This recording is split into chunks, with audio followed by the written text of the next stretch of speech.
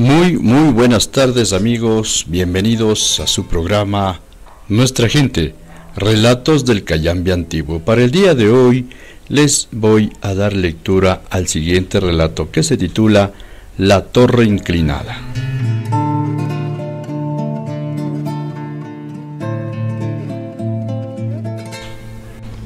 La Torre Inclinada.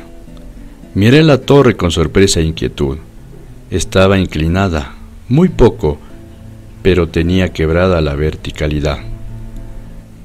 No me refiero a la torre de pizza, sino a la del templo matriz de Cayambe. Había sido afectada por un movimiento sísmico de la víspera.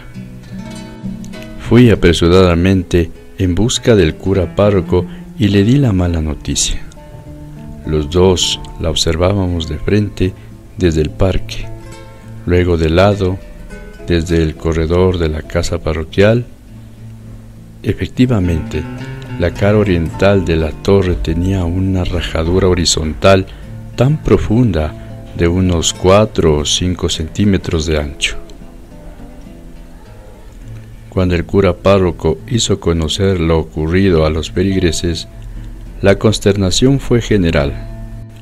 La gente que iba a la misa caminaba despacio de puntillas, para evitar la vibración de las altas paredes de la iglesia. Las letanías cantaban con voz suave. Quedó prohibido incluso el paso de vehículos motorizados por delante del templo. Ricos y pobres debían su parte económica para la restauración de la torre. Pronto pasó la inquietud, se olvidaron las precauciones, Nadie volvió a mirar a la torre con detenimiento, excepto el cura, los personeros del Consejo Municipal y quienes nos preocupábamos por asuntos de la colectividad como los maestros de la escuela. Un ingeniero de apellido Jarrín, cuyo primer nombre no me acuerdo, experto en reconstrucciones, fue contratado para salvar a la torre. Después de varios meses de estudios, de levantar planos, hacer cálculos, construir maquetas, el ingeniero dijo, es posible enderezar la torre, no queda otro recurso que demolerla y construir otra. Cerca de la iglesia se amontonaron hierros, piedras, arena, madera y otros materiales.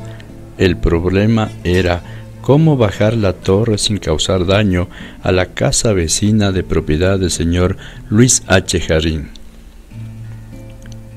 empezaron a poner puntales y a construir andamios, pero nadie contaba con lo que iba a ocurrir ese mismo día.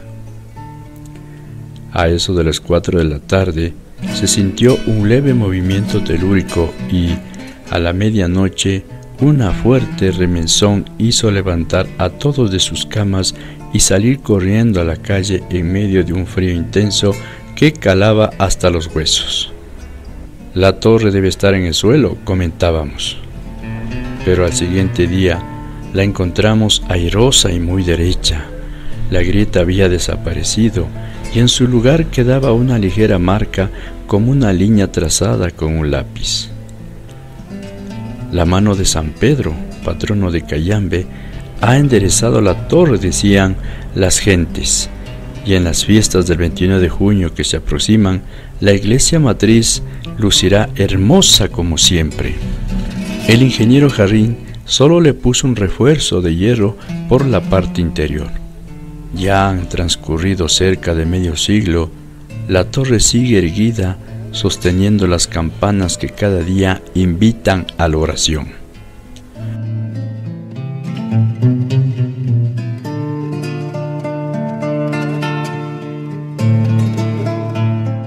Bueno, sí, queridos amigos, hemos dado lectura a este relato titulado La Torre Inclinada. Así terminamos con su programa Nuestra Gente, Relatos del Cayambe Antiguo.